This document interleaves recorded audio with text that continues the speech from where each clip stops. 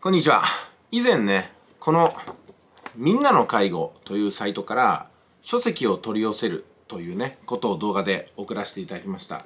この書籍を取り寄せると、みんなの介護に、まあ、言ってみればね、応援というか賛同したような形になると思うんですよ。それでこれで勉強していただくのも一つなんですけども、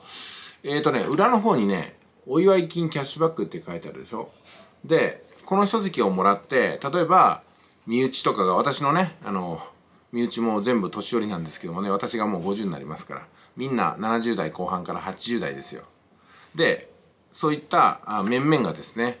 老人ホーム考えてるんだけどねって言った時に、まあ、こういうので教えてあげるんですよね。これ渡して終わりじゃダメですよ。読んどいてじゃなくてもうね本読むのめんどくさいんですよ。7080過ぎると。書籍を読むのがあの趣味になっていたりとか何か人に物を教えるためにねいつも本を読んでる人だったら別なんですけども大抵もうめんどくさいですから特に老人ホームに行くってあんまりウキウキしないんですよ。ですんでねこうやって自分で読んででこういうところみたいだよ。一回見学に行こうかみたいな形で、えー、なんかちょっと遊びに行く感覚でね誘ってあげるといいと思います。でそこで強調するのは、まあ、職員さんがものすごく優しいっていう評判で心配ないよというところ仲良くなれるよってこととあの身内も行きやすいじゃんこれみたいなね。本当になんかこう別荘に行くような感覚で遊びに行けそうだからこれはいいよねっていう形で、うん、あの、まあ、自宅も大事なお家なんだけども自宅は私たちがちゃんと守るし掃除もしておくんで、まあ、私たちが別荘や旅行先に行くような感覚で孫と一緒に行っても楽しめるようなところをいつも準備しといてみたいなねそんな誘い方をしてまああの、まあ、老人ホームですけどね老人ホームこちらの方から入っていただくようにお話を進めたらどうかなと思います。まあ、介護の問題というのは様々あるんですけども、一つがですね、あの、自宅の中に働いてるお父さんお母さん、それから子供たちもいろいろと自分のことをやるようになる。その中で、あの、おじいちゃんやおばあちゃんがいるとね、いつもいてありがたい部分と、あの、やっぱりこう、噛み合わないところとかがあるんですよね。で、おじいちゃんおばあちゃんにしてみれば、基本的に家って自分のものなわけなんですよ。それがなんかね、やっぱこう、ところどころ隅に追いやられたりとかしちゃうとやっぱりこういろいろとね即が起きたりとかするのとあと疾患を抱えた場合ですよね。介護が必要な身内がいる時にあの介護をさせてもらうっていう気持ちの本当にありがたく恩返しさせてもらうこのぐらい当然だよっていうようなご家族ばかりで固めていれば別なんですけども